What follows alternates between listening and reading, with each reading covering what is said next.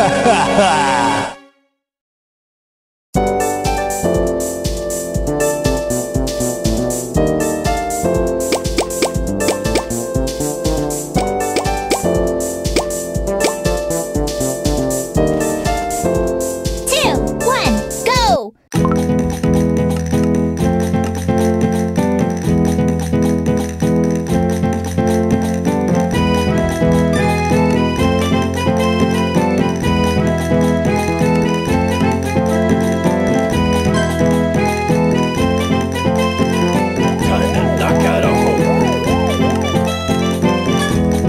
should have begged for forgiveness.